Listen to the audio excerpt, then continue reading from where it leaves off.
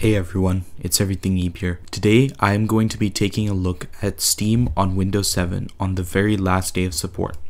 After today, which is 31st of December 2023, Steam on Windows 7, 8, and 8.1 will no longer be supported and will no longer run, although the wording on that is pretty confusing and has changed a few times now.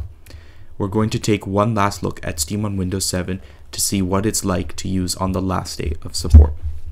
Alright, so today is December 31st of 2023, which is the absolute last day that Steam on Windows 7 and 8.1 is going to be supported. So today I'm going to log into Steam and check out what it looks like uh, at the end of 2023. So I have the computer here, I have a Windows 7 computer. Yeah, as you can see, the machine boots up pretty quickly because it has an SSD inside of it, so it doesn't take that long to boot up at all.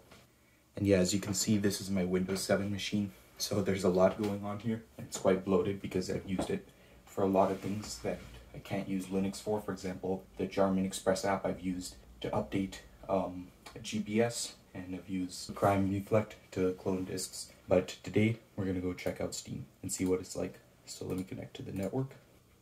Uh-oh. So it seems like the network's not connecting, so I'm gonna need to use my phone's hotspot. Here we go, we're connected to the internet now, and we're gonna open Steam. So as you can see, it's updating Steam for the last time, probably. It's updating it to include the time bomb, maybe. And Steam just crashed.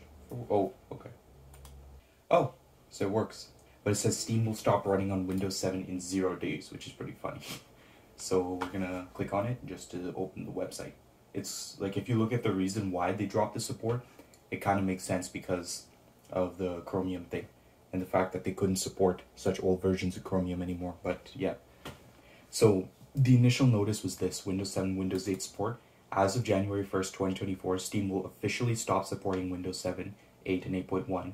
After that date, the Steam client will no longer run on these versions of Windows. It says in order to continue running Steam, you'll have to update to a newer version of Windows. So that's what they said. This was back in March of 2023 when they said this. December now.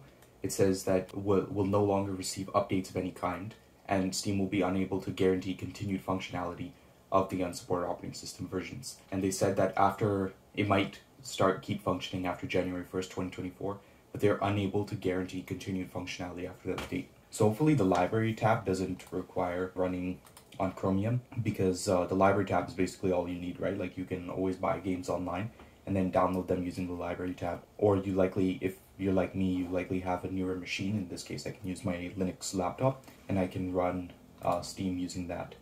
So yeah, they still got all of these games, and you can still download games from your library. So for example, uh, Geometry Dash 2.2 just came out, and this was an update that I've been waiting for for a long time.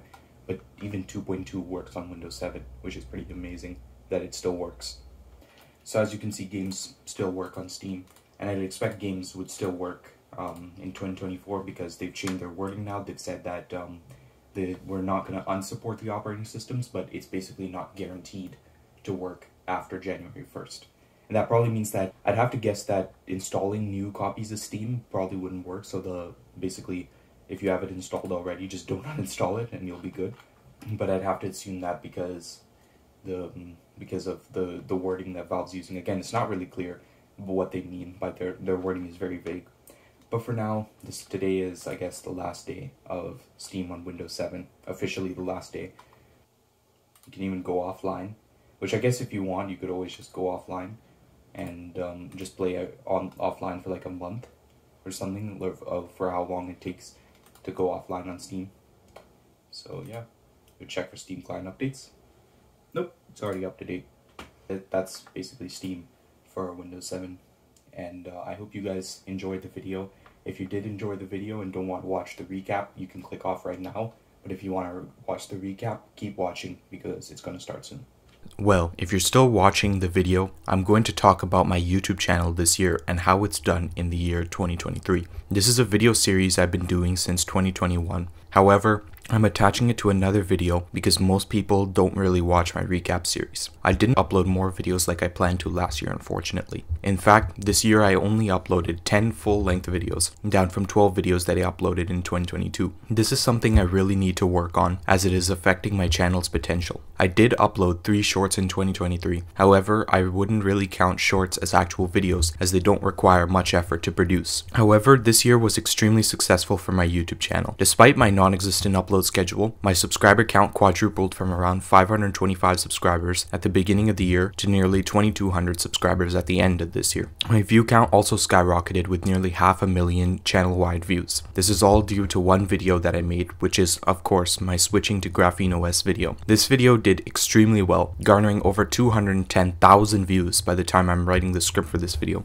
and being the main driving force for my channel in 2023. I doubt I will have another video as successful as this video in 2024, but at least I have a decent audience going into this year. My plans for 2024 are to at least double my subscriber count by the end of the year, if not surpass that. I also plan on uploading more videos in the first half of the year as I have a very light next semester in school, meaning plenty of time to work on YouTube videos. I also plan on making more shorts throughout 2024, especially at times when I can't make full length videos due to my IRL schedule. That's all I really have for this year's recap. If you enjoyed the video, leave a like and subscribe. I'll see you all next year.